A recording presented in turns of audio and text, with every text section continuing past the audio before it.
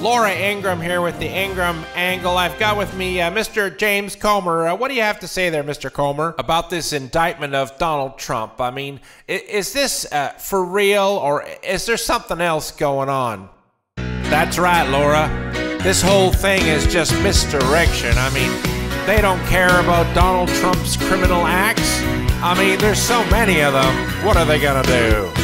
I was walking down a one way street just a looking for someone to meet. One woman who was looking for a man. Mr. Comer, what exactly are you trying to say? Now I'm hoping, hoping that the feeling is right, and I'm wondering, wondering if you'll stay for the night. So I'm coming. I don't wanna be lonely, baby.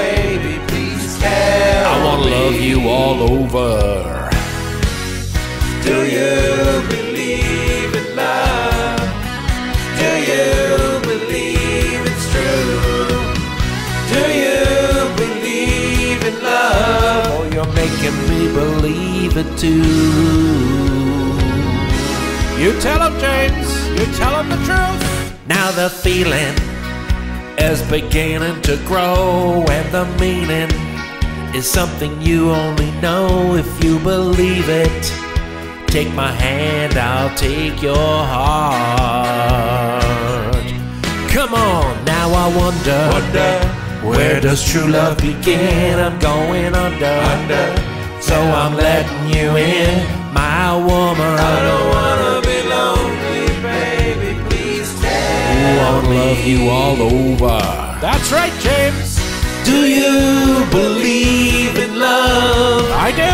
Do you believe it's true? Every word is true. Do you believe in love? Oh, you're making me believe it too. Tell us about your big theory there, James. I believe in it. This indictment is a pathetic attempt by the Biden administration to draw attention from our investigation of what's going on with the Biden family in Ukraine. That's right, James. Tell the truth. I used to have you in a photograph. I'm so glad it's changed, but now I've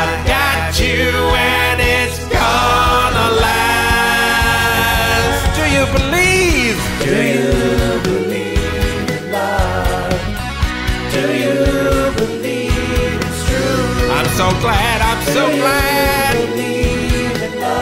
Oh, you're making me believe it too. Yeah.